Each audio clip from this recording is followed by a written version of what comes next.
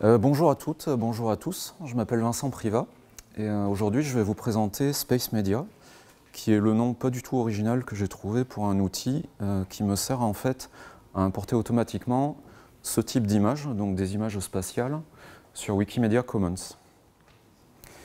Alors, Wikimedia Commons, pour les personnes qui ne connaissent pas, en fait, vous connaissez sans doute tous Wikipédia, l'encyclopédie. Euh, Commons, en fait, c'est la médiathèque qu'il y a derrière, qui permet euh, d'héberger toutes sortes de médias, principalement des photos, mais aussi des vidéos et des sons. Et ça permet d'illustrer tous les projets de la galaxie à Wikimedia. Donc il n'y a pas que Wikipédia, il y a d'autres projets à côté.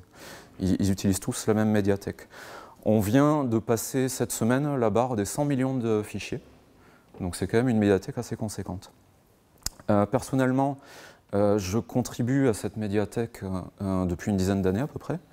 Donc j'ai fait pas mal d'imports dans diverses thématiques, des monuments historiques, des, fonds plutôt aéro, aérospatial. avec la communauté sur Toulouse, on avait importé un fonds des archives de Toulouse en 2018, le fonds André Cross. J'en avais parlé déjà au Capitole du Libre donc en 2018. Et à titre personnel, bah, je travaille dans le spatial, je suis un gros space geek, et donc ça m'arrivait euh, pas mal d'importer manuellement des photos de la NASA, de l'ESA, etc. Et euh, c'est par exemple ce type de photo là où en fait le satellite qui est derrière moi c'est JUICE, donc la grosse mission de l'ESA qui est partie pour euh, explorer les lunes de Jupiter cette année, où j'ai eu l'occasion de, faire des photos en représentant Wikimedia France. Et donc je vais vous parler de mon euh, bot, qui s'appelle euh, encore un nom très original, Optimus Prime Bot, euh, qui est en fait le compte que j'utilise pour, gérer ce projet. Et donc c'est ce compte qui importe les, les photos. En plus d'importer les photos, il a une fonction annexe qui est bien appréciée des administrateurs de Commons, c'est la détection de doublons, parce que vous verrez que détecter les doublons, c'est un peu le nerf de la guerre de ce projet. Alors en fait, ça, part d'un constat que j'ai fait euh, fin 2019, avant le Covid. Parce qu'en fait, là, ce projet, c'est mon projet du premier confinement du Covid. Bon, il a un peu débordé, parce que je suis encore dessus. Mais euh, l'idée, c'était ça. Donc en fin, fin 2019, euh, ce que je constatais, c'est que les images du spatial, pour illustrer Wikipédia, c'est NASA, NASA, NASA, NASA. 90% ça vient de la NASA déjà parce que la NASA c'est une très très grosse agence, elle écrase de très loin tout ce que font toutes les autres, mais c'est aussi du fait que de son statut d'agence fédérale du gouvernement américain, tous les travaux faits par la NASA sont automatiquement dans le domaine public. Et donc c'est vrai ça pour toutes les agences fédérales, que ce soit l'armée, la NASA, etc., domaine public. Donc forcément ça facilite, nous, la réutilisation sur Commons. Côté européen, on a l'agence spatiale européenne, l'ESA, qui fait plein de choses aussi, pas autant que la NASA, parce que ce n'est pas les mêmes budgets, mais n'empêche, ils font plein de choses. Par contre, c'est beaucoup plus difficile d'utiliser des, images de l'ESA parce qu'elle publie très très peu en licence libre. Alors que pourtant, euh, l'ESA fait des choses formidables. Là, c'est une photo euh, de la sonde Mars Express en orbite autour de Mars. Ça fait partie des meilleures photos qu'on peut avoir de Mars. C'est fait par l'ESA. Alors ça, on a de la chance, ça fait partie des rares missions où toutes les photos sont publiées en licence libre. Il y a un utilisateur qui a fait un, projet, un gros, projet d'import des photos de l'ESA en 2017. Donc il a importé des milliers de photos de l'ESA, mais il l'a fait qu'une fois. Donc tout ce qui était postérieur à 2017, il fallait le faire à la main. Euh, en creusant, j'ai trouvé pas mal d'autres sources possibles, hein, d'autres agences spatiales, des observatoires astronomiques, que ce soit au sol, sur la Terre ou dans l'espace.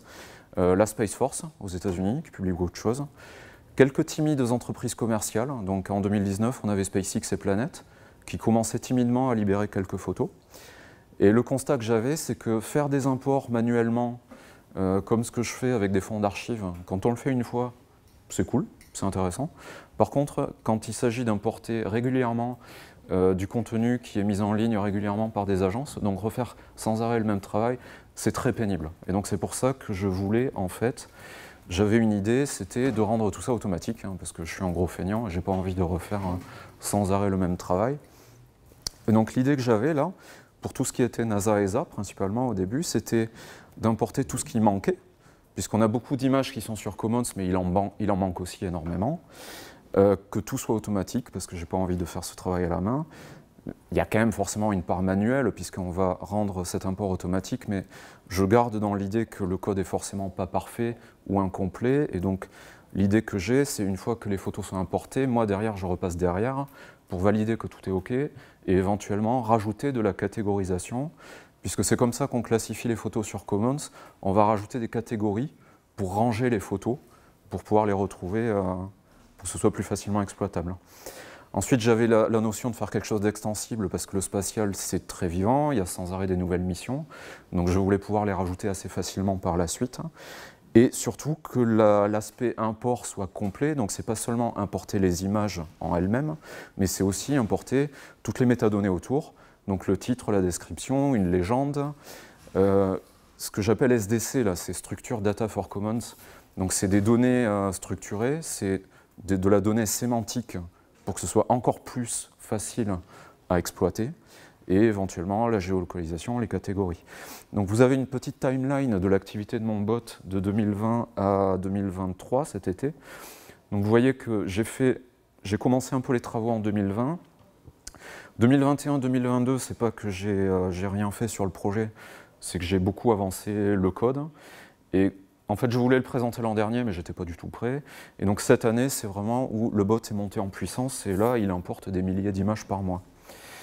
Euh, alors, qu'est-ce que... Ouais, j'ai essayé de trouver des mèmes un peu sympas pour illustrer, en fait, euh, dans les sources que j'utilise, en fait, je les distingue en deux catégories.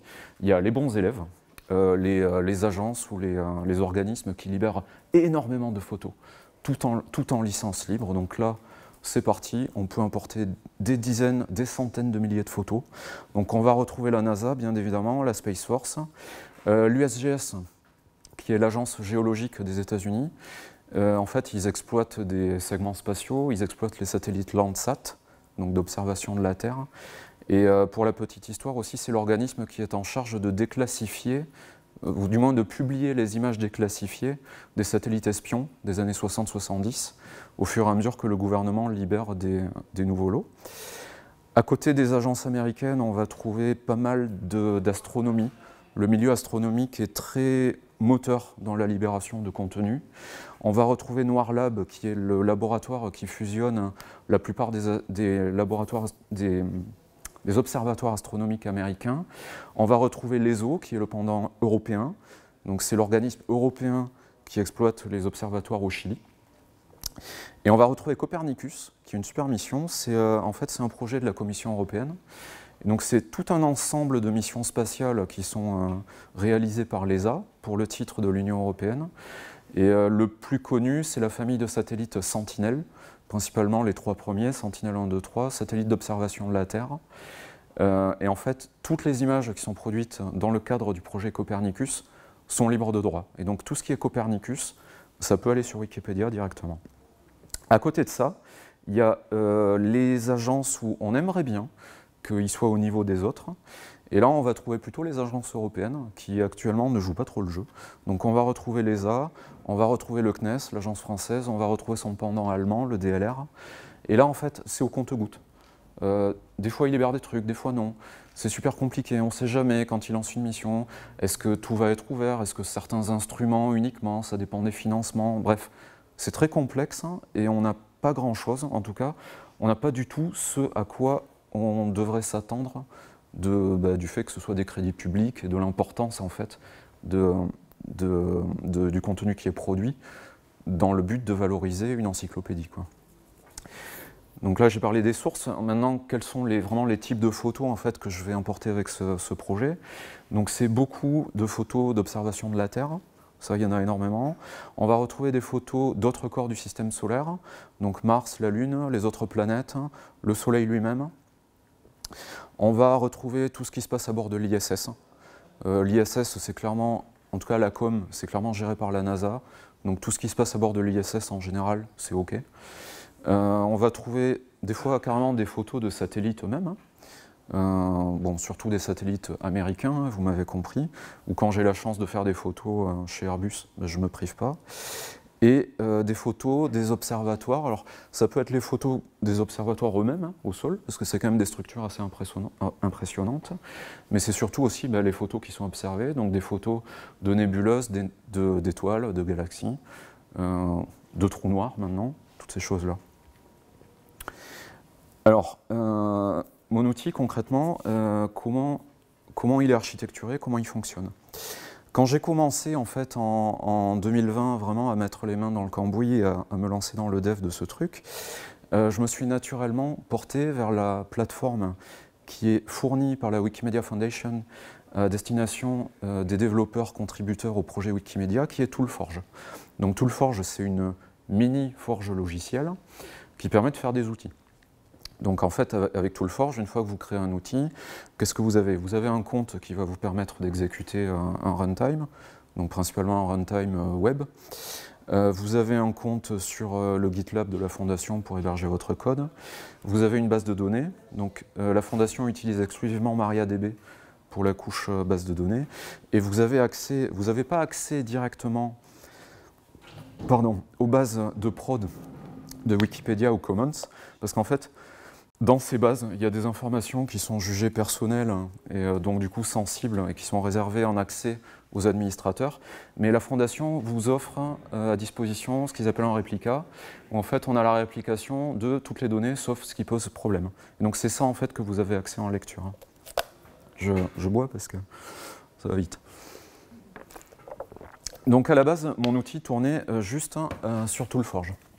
le problème que j'ai eu, et ce qui fait que l'architecture maintenant est un petit peu compliquée, un peu plus compliquée, c'est qu'en fait Toolforge c'est une plateforme qui est petite.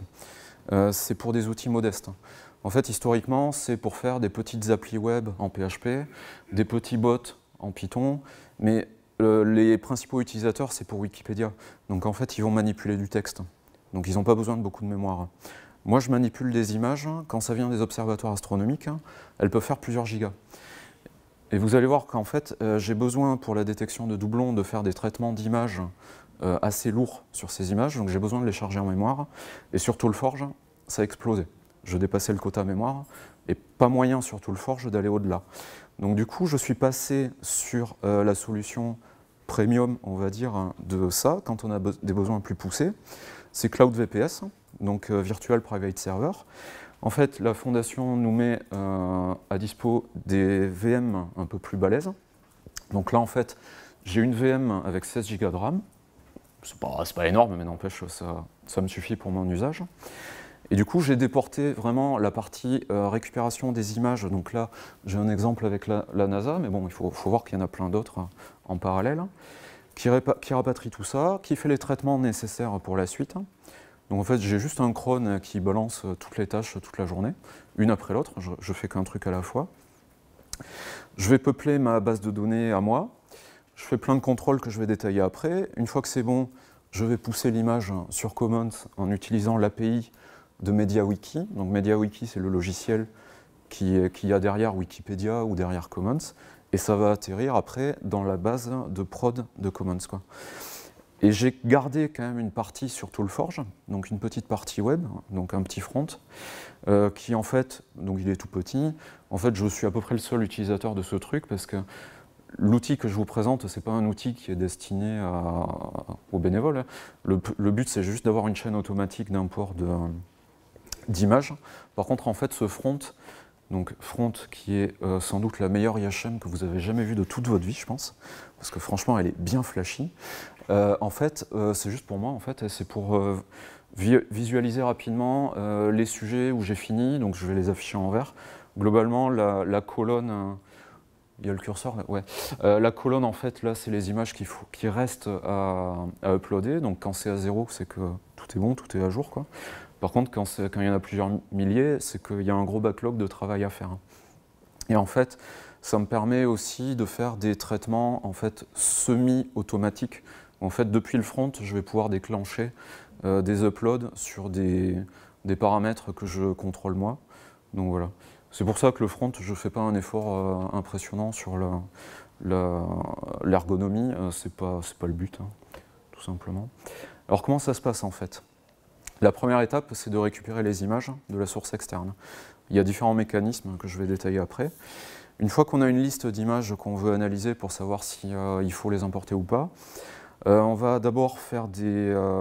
alors déjà, on va calculer des haches. Donc on va, calculer un SHA-1 parce que le, les seuls haches qui sont disponibles dans la base de Commons, c'est du SHA-1. Donc on va regarder. Si on trouve le SHA-1, nickel, l'image elle est là, on peut passer à la suite. Le problème du SHA-1, c'est que vous changez n'importe quoi sur l'image, vous changez les exifs, vous changez un pixel, vous redimensionnez, le SHA-1 change, et donc on peut plus, on peut plus se baser uniquement sur ça pour savoir si l'image, euh, enfin en tant qu'humain, elle est là ou pas. Quoi. Donc j'ai un calcul de H qui sont appelés perceptuels, que je vais détailler après, pour avancer. Mais une fois qu'on a ça, donc on va chercher euh, avec ces mécanismes-là. Si c'est bon, on va faire d'autres contrôles parce que on verra par la suite que des fois les agences nous tendent quelques pièges. Donc on va vérifier quand même que ce qu'on a récupéré, c'est bien libre de droit, parce que des fois on a des surprises.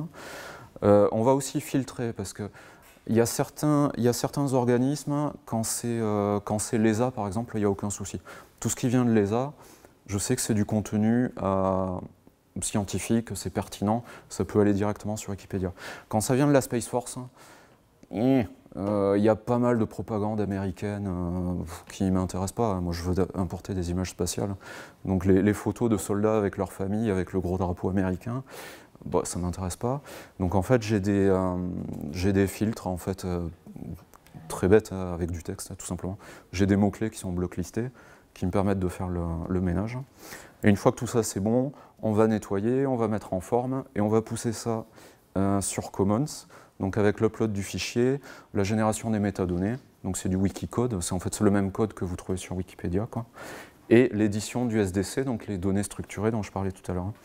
Et à la fin, il y a une petite fonction bonus qui sert à rien, mais c'est parce que je trouvais ça fun, c'est qu'en fait, euh, j'ai un compte Mastodon sur le bot, donc il va faire un poète quand il, fait des imports, et il y a l'équivalent sur Twitter. Quoi. Alors sur la, partie de l'identification des images, euh, en fait, il y, a, bah, il y a trois façons. Il y a la bonne façon, euh, c'est via une API, donc ça c'est génial. Bah, ça a tous les avantages qu'ont une API, hein. c'est documenté, c'est stable, euh, c'est performant. Vous pouvez euh, rechercher très finement, en particulier moi ce qui m'intéresse en fait c'est la plage temporelle, donc je peux dire de quand à quand je cherche une image. Bah, quand c'est dispo, j'utilise ça, mais malheureusement, c'est pas dispo tout le temps. Il y en a quand même beaucoup qui fournissent une API. Après, il y a la façon brute. Bah, là, c'est souvent des galeries d'images sur des sites web. Donc je vais faire du bon vieux scrapping HTML pour détecter toutes les images qui m'intéressent. Et en fait, les galeries sont euh, tout le temps, en général, c'est temporel. Donc en fait, on, on passe de page en page jusqu'à atteindre la date où je sais que tout ce qui est plus vieux que ça, je l'ai déjà fait. Et après, il y a la façon vraiment euh, truand, c'est euh, tester si des, URL fonctionnent pour euh, essayer de détecter du contenu. C'est quand les agences ne prennent pas la peine de faire des galeries. C'est souvent quand ils font une fonction de image of the day, bah, il n'y a pas forcément la galerie avec toutes les images des days précédents. Donc il faut faire l'URL avec, avec, la date. donc je parlais tout à l'heure que le, le SHA-1, en fait, ça, ça permet... Enfin, c'est pas suffisant. Quoi. Il faut aller au-delà. Et donc euh, il y, a, un truc qui est très répandu pour cette fonction-là, donc c'est le perceptual hashing. Là j'ai mis l'article anglais parce que l'article français n'existe pas encore sur Wikipédia. Il y a diverses librairies qui permettent de faire ça, il y a diverses façons, mais globalement la logique est toujours la même. Euh, vous partez d'une image euh, en pleine résolution, qui est très détaillée, vous allez réduire la taille pour avoir un faible nombre de pixels, vous allez réduire les couleurs aussi, on réduit tout ce qu'on peut, pour avoir une, image vraiment minimaliste, mais qui soit suffisante pour les reconnaître. Euh, en fait, après, on va faire divers calculs. Euh, il y a différentes façons, des moyennes, comparaison de pixels adjacents, etc. L'idée, c'est d'assigner des bits sur chacun des pixels. Et du coup, ça vous fait une valeur numérique que vous pouvez ensuite euh, aller chercher directement dans la base, puisque des images différentes peuvent produire le même hash perceptuel. Ou sinon, vous faites des calculs de distance entre des hashes puisque une distance faible entre des haches ça peut indiquer que c'est la même image. Donc euh, vous mettez un seuil, en dessous de ce seuil, on considère que c'est la même et que ce n'est pas la peine de l'importer. Donc ça, c'est le principe essentiel. Une fois que le... en fait, le résultat que ça fait, bon, c'est un peu petit, parce que j'ai essayé de tout afficher, mais la partie gauche, en fait, euh, c'est euh, le Wikicode, donc le rendu HTML que vous avez sur le site Wikimedia, où on va retrouver toutes les infos, la description, euh, les licences, les liens, tout ça. Et la partie droite, en fait, que vous avez, quand vous allez sur Commons, c'est pas très visible, mais en fait, la première partie, c'est le truc par défaut, c'est information sur le fichier. Et vous avez un deuxième onglet qui s'appelle données structurées. Et en fait, quand vous cliquez dessus, vous avez la partie droite là. Et donc, c'est des données sous format clé-valeur. En fait, c'est le même format que Wikidata. Et d'ailleurs, c'est les mêmes clés que sur Wikidata. Et vous pouvez vraiment euh, dire euh, euh, quel satellite a fait cette photo, à quel type d'orbite il est, quelle est la taille de la photo, quelle est la licence, quelle est la somme de contrôle, toutes ces choses-là. alors en termes de dimensionnement, de, quels ordres de grandeur on parle là? La NASA, alors j'ai pas tout fait hein, de la NASA, j'en ai pour des années, hein. mais actuellement, j'ai déjà analysé à peu près un demi-million d'images hein, de la NASA. Alors c'est pas fini, je, dis juste analyser, donc j'ai une liste d'un demi-million d'images. J'en ai euh, quelques centaines de milliers encore à importer. Euh, donc il en reste plein d'autres. Euh, le problème des images astro qui sont énormes, donc j'en ai parlé. Donc il y avait le problème sur mon outil en lui-même, mais il y a aussi des fois des problèmes sur les serveurs Wikimedia, parce que quand vous allez en fait sur Commons, l'image qui s'affiche dans la page HTML, c'est pas l'image brute, parce que des fois elle peut être gigantesque, c'est des, miniatures. Et en fait, les serveurs des fois ont du mal à générer ces miniatures sur les très très grosses images. Euh, l'autre difficulté que j'ai, c'est que même en ayant fait le hash perceptuel, pour euh, je ne peux pas chercher, parce que je vous ai parlé de la notion de distance là. Donc la distance, ça implique qu'on compare les fichiers 1 à 1, 1 à 1. Eh ben, je ne peux pas faire ça sur toute la base de Commons parce qu'on vient de passer 100 millions. Euh, du coup, il me faut des astuces pour restreindre le scope euh, des images que je vais aller, euh, je vais aller comparer. là, j'utilise principalement deux astuces. Quand ça vient d'une agence qui identifie ces images avec un identifiant, ce qui est souvent le cas avec la NASA, en fait, je vais commencer par faire une recherche de cet identifiant et euh, tout ce qui remonte, ça va être en général maximum quelques dizaines de résultats. Là, je vais pouvoir comparer. L'autre astuce, c'est de faire une recherche textuelle. Et en fait, ce que je fais, c'est que je prends la première phrase de la description, je cherche ça, et euh, même logique. Et après, bon, les difficultés par rapport à tout le forge, j'en ai parlé tout à l'heure.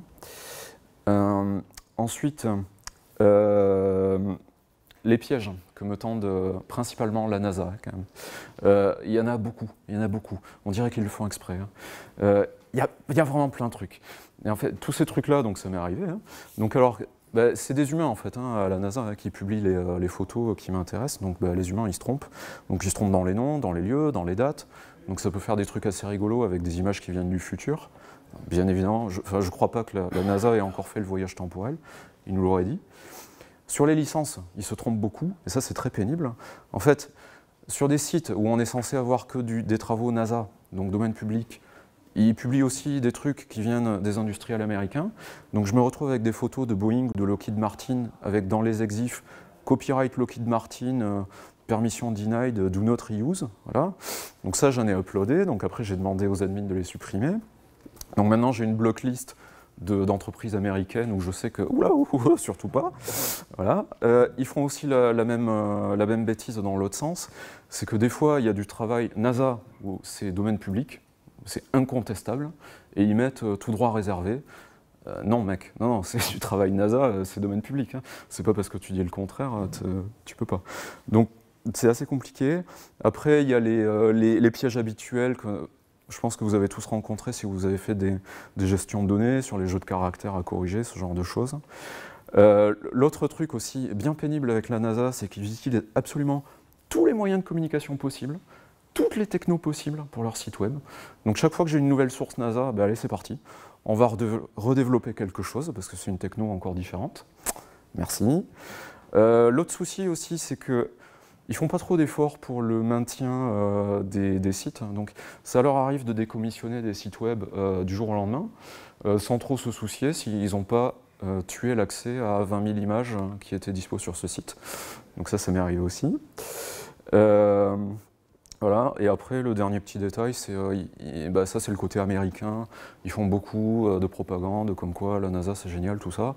Venez nous voir sur nos réseaux sociaux, blabla. Bon, ça, ça m'intéresse pas, donc ça, j'essaye de, de wiper, quoi. Un autre truc qui m'attriste pas mal, c'est la tendance actuelle, en fait, sur... Euh, Sur l'utilisation de licences libres en fait dans le milieu spatial, en fait il y a eu, bon je, J'écarte la NASA qui a toujours été domaine public, ça, il n'y a pas de souci, mais c'est pour les autres. En fait, les autres, on a vu sur la décennie 2010, c'était un petit peu l'âge d'or euh, de la diffusion de la, culture libre dans ce milieu-là, puisqu'on a vu de plus en plus d'initiatives émerger à droite à gauche, surtout en Europe. Donc c'est venu à, la base, c'est venu de l'Allemagne avec le DLR, ça s'est étendu à l'ESA, et donc on a cru que ça allait pouvoir euh, prendre. Euh, en parallèle, c'est là où les entreprises, donc plutôt des entreprises américaines, donc des entreprises privées, hein, se sont mis à libérer du contenu. Ça, c'était assez nouveau d'avoir des privés qui font ça. Donc euh, Planète, euh, SpaceX. On a même Ariane Espace en France qui qui s'est mis à libérer du contenu, donc des, décollages en fait, des décollages de Soyuz ou de Vega ou d'Ariane sur YouTube en CC BY. Ça c'était super. Et puis fin, fin, fin 2010, en fin des années 2010, début 2020, ben on, a commencé à repartir en sens inverse. Et donc petit à petit, il y a de moins en moins de, gens en fait, qui publient en licence libre. Et ben, ça me fait un peu pleurer parce que ça allait dans le bon sens, là on repart en arrière. Donc SpaceX Planet c'est fini, Ariane Espace c'est fini, le CARI c'est l'agence spatiale sud-coréenne, euh, c'est fini, euh, le DLR le DLR, je ne sais pas ce qui s'est passé au DLR, mais pendant 10 ans, ils ont libéré plein de choses, et du jour au lendemain, ils ont passé le. Ils étaient en CC BY, ils sont passés en CC BY NCND, donc le truc ultra verrouillé. Officiellement, ça s'appelle Creative Commons, mais bon, ça n'a pas grand chose de Creative Commons avec les restrictions. Donc NC, c'est non commercial, et ND, c'est non diffusion, je crois. Non, non, dérivative. Non dérivative, merci. Enfin, bref, on peut rien faire avec ça, quoi. Et euh, j'ai eu beau les interpeller sur le DLR, ils ont sorti des excuses à la noix, comme quoi, oui, on est une agence fédérale, il faut qu'on contrôle notre image. je leur ai ressorti, oui, alors sur votre communiqué de presse de 2012, en fait, euh, ça vous posait aucun problème, hein, la loi était la même. Donc bon, c'est euh, un peu gênant. Euh, pour conclure, euh, qu'est-ce que j'ai en tête là pour améliorer et avancer sur cet outil? Euh, D'une part, faire de la CICD, parce que là, pour l'instant, c'est très manuel là, quand je fais des déploiements sur l'infra, parce qu'en fait, il n'y a, pas vraiment de CICD encore qui est offerte sur la, plateforme. c'est en train d'avancer avec tout le Forge Build Service qui est en bêta. mettre à jour les métadonnées SDC. Donc là, là pour l'instant, je fais surtout de l'import de nouvelles images ça serait bien aussi de mettre à jour les images qui sont déjà existantes pour compléter les données, les améliorer, les métadonnées. Donc ça, c'est quelque chose que j'ai en tête.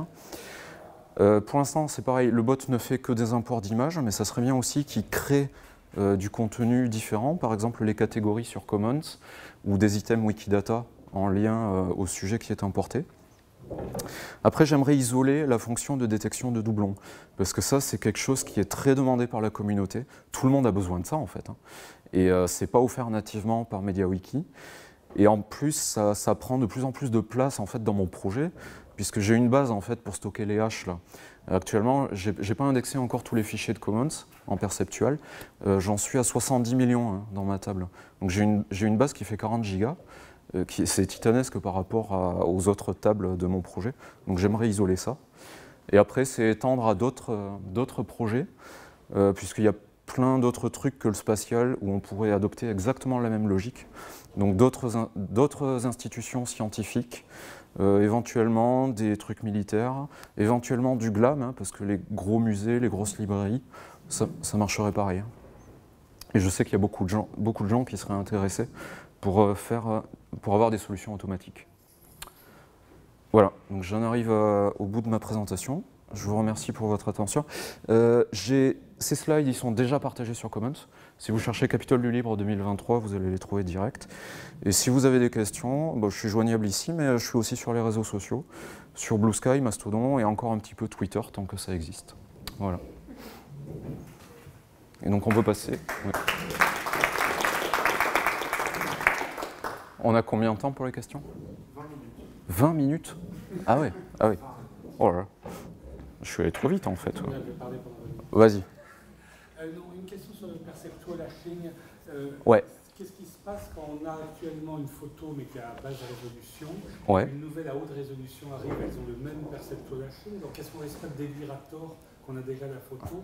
Ouais. En fait, ça serait un progrès. Ouais, euh, alors c'est un cas qui arrive pas souvent. Euh, Enfin, pas à ce niveau-là de résolution. Quoi. Ce genre d'image avec une résolution aussi faible, il n'y en a pas sur Commons. Mais, euh, mais effectivement, ça peut arriver qu'on ait des. Ça arrive souvent hein, d'ailleurs, qu'on ait une image qui soit pas trop mal, comme ça, genre euh, 800 par 800, et puis on va trouver la même en 3000 par 3000. Euh, là, actuellement, ça marche pas très bien. Pour l'instant, ce que j'ai fait, en- dans la logique, ça devrait fonctionner.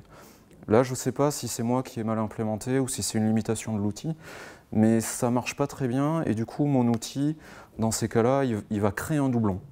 Et donc, c'est moi manuellement, en fait, quand je vais catégoriser l'image euh, pour la ranger dans le, par exemple, dans la catégorie de l'actrice, si c'était une actrice dans le bon coin, là, je vais m'apercevoir, ah ben tiens, à côté, il y a exactement la même photo en résolution plus réduite. Ben là, du coup, c'est moi qui vais indiquer que l'ancienne photo en faible résolution, il faudrait la wiper. Donc il y, a- il y a une petite manip à faire pour indiquer que celle que j'ai importée, elle est mieux. Et donc ça fait une demande de suppression qui apparaît dans le, dans le backlog des administrateurs. Et tous les jours, les administrateurs, en fait, ils suppriment des photos par milliers. Quoi. Voilà. Donc actuellement, ça ne marche pas très bien, mais c'est un cas qui arrive. J'ai une question par rapport à l'import des données Copernicus. Ouais. C'est un volume de données énorme. Euh, Oui. Je pense vraiment qu'on peut importer ça dans, dans Bonne question. Non. Euh, en fait, le, en fait euh, alors, vu qu'on a du temps, je peux peut-être monter montrer. Ça, c'est typiquement l'activité de mon bot aujourd'hui. Euh, enfin, aujourd'hui et hier, parce que j'ai pas fait le ménage hier. Euh, et alors, est-ce qu'il y a du Copernicus Alors, vous voyez, là, j'ai des astronautes, par exemple. J'ai des euh, images. Je sais pas si vous voyez bien. Ouais. Ok. J'ai quoi là? Là, j'ai des images satellites, mais c'est pas du Copernicus. J'ai du MODIS, donc ça, c'est un instrument américain. J'ai des photos de l'ISS. Alors, j'ai des photos de SpaceX, parce qu'en fait, là, c'est un lancement pour la NASA. Donc, en fait, c'est une photo NASA, c'est pas une photo SpaceX. Euh, J'aimerais bien avoir du Copernicus quand même pour l'exemple. Euh, j'ai du SDO, donc euh, je vais répondre à ta question de deux façons. Déjà, Copernicus, en fait, je ne vais pas taper dans les catalogues de Copernicus où il y a plusieurs milliards d'entrées. C'est n'est pas ces images-là dont je parle. En fait, l'ESA, je crois que c'est l'ESA, non, c'est la mission Copernicus directement, ils ont un site grand public. Et en fait, sur ce site grand public, ils font une sélection euh, de photos. Ils en f- je crois qu'ils en font une par jour à peu près. C'est pour ça que je suis surpris de ne pas en voir. Normalement, il devrait y en avoir une ou deux. Euh, Ouais, bah non, il n'y en a pas. Bon, il n'y en a pas, c'est pas de bol. En général, il y en a vraiment une ou deux par jour. Et en fait, du coup, c'est en fait, l'administrateur de ce site web grand public qui, tous les jours, choisit une photo en lien avec l'actualité euh, pour, euh, bah, pour illustrer l'actualité, faire de la pub pour le programme Copernicus. Donc, c'est des photos qui sont cadrées, qui sont retravaillées, qui sont jolies, quoi. Et en fait, c'est ces photos-là que j'importe. C'est c'est pas les photos brutes de, Copernicus parce que effectivement, non, ça, déjà, euh, déjà, c'est des photos brutes, donc c'est difficilement exploitable hein, sur une encyclopédie euh, directement. Nous, on veut un produit fini. Quoi. Ensuite, euh, bah, l'ordre de grandeur, hein, c'est beaucoup trop gros. On parle de plusieurs milliards d'images, je ne vais pas importer ça sur Commons. Et puis surtout, euh, il n'y a pas de risque en fait qu'elles disparaissent. Euh, le programme Copernicus, c'est quelque chose qui existera, je pense, peut-être pas sous ce nom-là, mais en tout cas, je pense que les images acquises aujourd'hui par Copernicus, dans 100 ans, elles seront encore accessibles hein, et disponibles aux scientifiques. Donc ça, il n'y a pas de... Parce qu'en fait, dans Commons, c'est un petit peu la, la bibliothèque d'Alexandrie des images, c'est qu'on cherche à rapatrier... C'est pour ça en fait que je veux importer euh, tous les trucs de la NASA. Je vous ai dit que la NASA, elle, a aucun scrupule à wiper ses sites du jour au lendemain. Et du coup, on perd des quantités d'images phénoménales, qui sont après très difficiles à retrouver parce qu'il faudrait aller, euh, euh, aux archives américaines pour essayer de les récupérer. Donc l'idée, c'est que dans Commons, on va archiver en fait tout ce qui est public, parce que Commons, on a la volonté que ce soit pérenne sur une très longue durée. Mais les photos intéressantes. Donc c'est pour ça. Et par contre, du coup, je vais apporter un deuxième élément de réponse, c'est euh, ces photos-là du soleil. Là, Euh, là j'ai fait un trade-off. Parce qu'en fait, c'est la mission SDO. Donc c'est une mission de la NASA qui prend des photos du soleil toutes les, euh, minutes. Enfin, c'est peut-être tous les deux minutes, mais l'ordre de grandeur, c'est la minute. C'est- ils font des photos dans plein de bandes différentes, plus d'une dizaine, je crois. Et, du coup, il y a une quantité gigantesque de photos du Soleil. Donc, j'allais pas importer toutes les photos SDO, c'est beaucoup trop. Mais par contre, je trouvais ça intéressant d'en extraire une petite partie. Et en fait, ce que je fais sur SDO, c'est que j'importe une photo par jour par bande. Donc je trouvais que c'est un bon compromis. Ça fait quand même une grosse quantité d'images, mais ça reste gérable. Ça va faire quelques milliers de photos en fait par année. Pour Commons, ça va quoi. C'est pas, trop exagéré. Si j'avais importé tout SDO, euh, je me serais fait euh, défoncer par les admins. Parce que là, ça voudrait dire qu'une partie substantielle de Commons, ça serait mon outil. Non, ça, c'est pas possible. Et en fait, je les importe parce que c'est des photos scientifiques, hein, euh, clairement. Là, c'est la, la, photo brute hein, qui sort de l'instrument. Mais sauf que c'est des photos en 4K et qui sont centrées. et en fait, elles sont directement utilisables pour le grand public, ces images. C'est pour ça que je les importe en fait directement sur Commons. Là, là on peut, il y aurait juste à cropper le. Parce que ça, ça on s'en fout là, la date là. On aurait juste à cropper ça euh, pour, euh, pour Wikipédia. Parce que la, convention, c'est de ne pas avoir de légende sur la photo. Parce que bah, ça pose pas un problème, on ne peut pas le traduire, hein, tout ça. Mais ça, ça, clairement, des images SDO, euh, on, en on en utilise plein. Quoi. Dans ce cas-là, la légende est à la fois utile et ne nécessite pas de traduction. Alors, dans, ouais, dans ce cas-là, il n'y a pas trop de soucis, effectivement. Enfin, l'heure sont clairement une information pertinente. Oui, oui, mais après, de toute façon, cette, euh, cette information, euh, moi, je la. En fait, là. Ouais, exactement. Déjà, elle est. Euh, pour un humain lambda, elle est là. C'est lisible Ouais, c'est bon. et après, pour une machine, en fait, elle est en données structurées. Donc là, vous allez trouver que c'est créé par SDO, que c'est en domaine public, que ça a été fabriqué en orbite géosynchrone, que c'est un JPEG de 4K, que c'est une image satellite, que la longueur d'onde de c'est 335 angstrom, que c'est une photo, qu'elle a cette taille-là, etc. Et donc la date, en fait, vous l'avez là. Et d'ailleurs, j'ai même deux dates. J'ai la date de...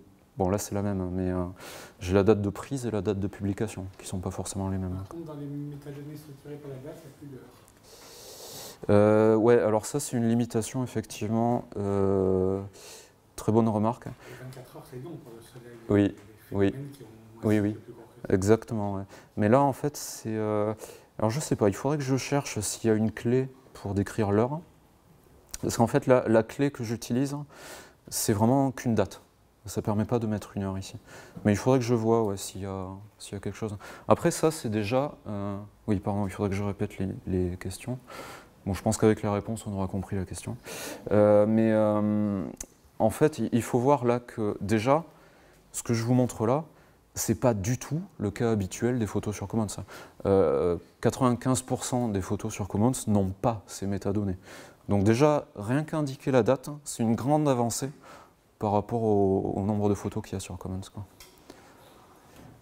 Une autre curiosité, les, décisions comme celle de faire une photo par jour dans chaque ouais. et tout ça, c'est des décisions individuelles ou il y a une discussion avec les l'équipe qui gère Wikimedia Commons ou comment ça se passe en pratique euh Ouais, alors comment, comment la question, comment je fais la prise de décision? Est-ce que c'est moi qui suis un dictateur autoritaire ou est-ce que c'est plutôt collaboratif en échangeant avec les, euh, les gens qui gèrent Commons?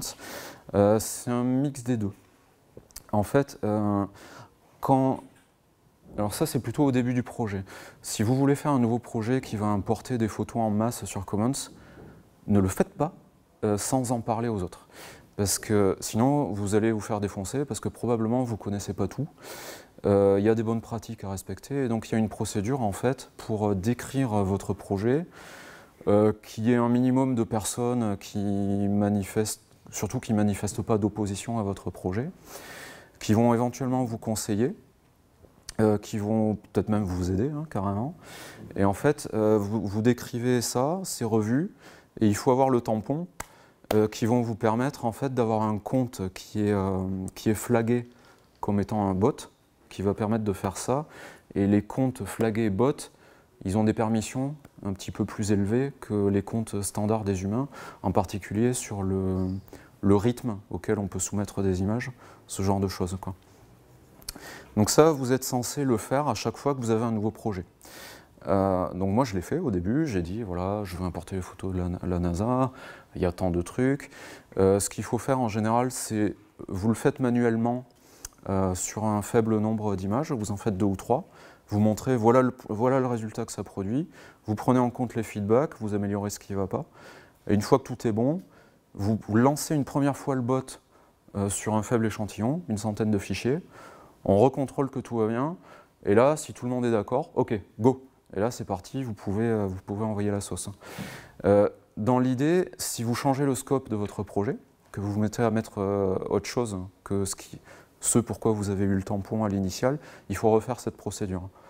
Mais après, au bout d'un moment, quand ils voient qu'il n'y a pas de problème avec le bot, les admins, ils vous font confiance. Et donc là, je n'ai pas à refaire ce travail si j'ajoute une nouvelle mission. Ça, je le fais tout seul. Et typiquement, SDO, en fait, je l'ai fait. Je connais assez bien le projet, en fait. ça fait 10 ans que je, contribue, donc je connais à peu près les seuils à partir du moment où c'est un comportement acceptable, où c'est un comportement qui, qui exagère par rapport aux bonnes pratiques de Commons. C'est pour ça que je disais, je fais un trade-off avec une photo par jour. J'en ai pas parlé aux admins. Je pense que dans l'idée, j'aurais dû. Euh, mais d'un autre côté, personne ne m'a rien dit. Donc je pense qu'actuellement, ça ne pose pas de problème. Par contre, si je commence à créer euh, des trucs plus poussés, ouais, là, je referai une demande pour, euh, pour décrire et à nouveau avoir le tampon. Et on a une idée du, pourcentage mais du nombre de photos à utiliser Parce que là, c'est un, un entre-deux entre une archive de tout le web, ouais. comme ça existe déjà dans le projet, et une mise à disposition pour euh, tout Wikipédia. Ouais. Alors, question sur la réutilisation de tout ça. Euh, en fait, il y, a des, outils. Euh, il y a des outils qui permettent de faire ça. Euh, il y en a un qui s'appelle Baglama 2. alors, je ne sais pas. En fait, vous pouvez indiquer des, catégories Commons. et en fait, l'outil va analyser la réutilisation de tout ça. Ce serait bien que j'arrive à le montrer. Euh, et ça fait des graphiques assez sympas justement pour valoriser. C'est surtout, euh, il y a glam dans le nom parce qu'en fait c'est euh, orienté pour les musées et les bibliothèques. Hein. je ne sais pas si j'arriverai à le trouver, mais en fait vous pouvez chercher Baglama 2. bon, là, mais ouais, bon, en fait ça fait ça. C'est un screenshot, mais au moins ça vous donne une idée en fait, on peut suivre l'évolution de la réutilisation des photos au sein d'une catégorie. Bon, là, c'est un bug, ce pic. Euh, et donc, je peux le faire sur... Euh, parce que là, toutes les images que j'importe avec cet outil atterrissent dans euh, une catégorie qui me permettent de tout tracer. Donc là, j'ai importé 80 000 photos à peu près, depuis le début du projet. il me semble que je l'ai indiqué à l'outil qui l'analyse, mais je ne suis pas encore allé voir, non. Mais je pense qu'il y a beaucoup de réutilisation, hein, clairement. Est-ce que les photos importées dans le cadre de ce projet sont marquées d'une façon particulière Parce que les photos de SDO, il y en a plein sur Wikimedia Commons. Oui. Est-ce que celles de ce projet particulier sont marquées Oui, mais c'est ce que je. Oui, comment elles sont marquées Alors, il y, a, il y, a, plusieurs façons de les retrouver. Il y a la catégorie. Alors, euh, typiquement, la, catégorie que je regardais tout à l'heure, euh, alors, ça, en fait, c'est les images euh, qui, où il faut faire une revue manuelle. Donc c'est surtout pour moi, ça me permet de voir qu'est-ce qu'a fait le bot aujourd'hui. Et euh, en fait, je contrôle que c'est bon, je rajoute ce qui manque, et une fois que c'est bon, je retire cette catégorie. Mais euh, il y a une catégorie qui persiste, et donc qui permet de... C'est celle-là en fait, c'est Space Media Files Uploaded by euh, le nom du bot. donc c'est là, alors, il me semblait que c'était 80 000, là il y a écrit 63 000, je me suis peut-être trompé sur les chiffres, mais dans l'idée, elles sont toutes ici. quoi. Non, oui, c'est ça. C'est parce qu'en fait, c'est parce qu'en fait, là, j'ai le premier niveau, et après, en fait, il y a une convention euh, pour tout ce qui vient de Flickr. Euh, tout ce qui vient de Flickr, c'est tracé sur Commons dans des catégories à part. Donc là, en fait, j'ai importé 63 plus 8, donc un peu plus de 70 000 fichiers. Donc on peut les retrouver comme ça. Mais après, vous pouvez aussi tout simplement, parce que comme j'utilise le même euh, compte à chaque fois, vous pouvez passer par le compte en fait. En fait, c'est écrit c'est affiché là. On voit toujours qui a fait l'import. Donc si vous cliquez, enfin il y a même un raccourci en fait, hein. si vous cliquez là sur contribution, vous voyez toutes les contributions de cet utilisateur. Donc ça peut être des modifs de, page, hein, mais mon bot ne fait pas ça. Enfin, si, il fait ça. Pardon. Je vais en parler, tiens. Mais, euh, mais là, on voit les imports. Donc, vous pouvez retrouver tous les imports comme ça. Et en fait, ils font des. Euh, ils font des... Mon bot fait aussi des modifs de pages euh, parce que c'est la détection des doublons. C'est ce que je mentionnais brièvement au début. C'est que mon bot est très apprécié par les admins. Parce qu'en fait, comme j'avais tout codé pour détecter les doublons, euh, je me suis dit que je vais peut-être aussi en profiter, ça coûte pas très cher, d'identifier les doublons qui sont sur Commons, mais qui n'ont pas de lien avec mon projet. Euh, et en fait, ce qui se passe, c'est que les, euh, les gens sur Commons avaient déjà fait une requête SQL qui permet de remonter les doublons avec... Alors là, je parle de doublons exacts, avec le même SHA-1. Il y a déjà une requête SQL qui remonte ces données-là tous les trois jours, parce qu'en fait, c'est une requête qui prend je pense, plusieurs dizaines de minutes ou peut-être plusieurs heures à s'exécuter. Et donc ils font ça que tous les trois jours. Ça atterrit sur une page, une page qu'ils appellent une page spéciale. Vous avez la liste de tout ce qui remonte de la requête SQL. Mais le problème, hein, c'est que c'est difficilement exploitable parce qu'en fait, ça ne fait pas le tri des patates. Hein. C'est une liste brute. Et vous ne savez pas si c'est euh, dans ce qui est listé, est-ce que c'est le premier fichier ou est-ce que c'est le nouveau? Parce qu'on aurait tendance plutôt à privilégier quand même le travail de la personne qui a envoyé le fichier il y a 10 ans, déjà pour euh, valoriser son travail, mais aussi parce que depuis 10 ans, sans doute, il y a eu un gros effort de la communauté pour euh, rajouter des catégories, enrichir les descriptions, et on va plutôt flinguer le fichier qui a été envoyé, peut-être par erreur, il y a deux jours, par un nouveau contributeur. Et en fait, c'est là où euh, mon bot a une plus-value, c'est qu'en fait, il va prendre la liste, il va regarder pour chaque entrée quelle est la plus vieille, et il va marquer la nouvelle comme étant à supprimer. Et donc du coup, tous les jours, tous les jours, euh, enfin même euh, en pratique toutes les 15 minutes, euh, mon bot il, regarde ça. Pourquoi toutes les 15 minutes? Alors que le truc est fait tous les 3 jours C'est parce que la première fois que j'ai mis ça en place, je me suis fait engueuler par les admins, parce que quand j'ai fait ça, personne ne l'avait fait avant. Du coup, la liste qui remontait, elle était bridée à 5000 entrées, euh, pour pas noyer les. Euh, pour que la, requête SQL était limitée à 5000 entrées. Et ben, la première fois que j'ai fait ça, j'ai. J'ai flagué 5000 euh, fichiers à supprimer aux admins et ils étaient là. Euh, T'es bien gentil, Vincent, là, mais là, on, a, on, a, notre workflow où normalement on a 50 à 60 fichiers par jour. Là, avec tes 5000 fichiers, là, on en a pour plusieurs mois. Là t'es gentil, mais tu nous fais un peu chier quand même. Donc, euh, tu peux pas euh, calmer un peu ton bot là pour qu'il ait une limite là Et donc, en fait, j'ai une limite à 200. Et donc, en fait, c'est pour ça que je fais toutes les 15 minutes. C'est que je regarde, euh, est-ce qu'il y a plus de 200 fichiers? Si oui, je fais rien. Je vais laisser les admins respirer un petit peu. Et s'il y en a moins que 200, là, je complète à 200. Tu, tu avais une question? Une question peut-être ouverture. la finalité, ce sont les images vraiment grand public. Oui.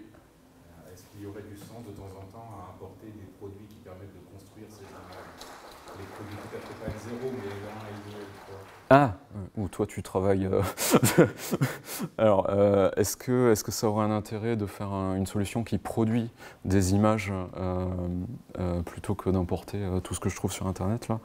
Non, j'ai pas du tout ça en tête. là, de toute façon, l'ordre de grandeur c'est de l'ordre du million, donc j'en ai déjà pour plusieurs années juste à importer ce que publie la NASA. Donc non, il n'y a a aucune intention de produire de l'image. C'est que de l'import. Je t'en prie.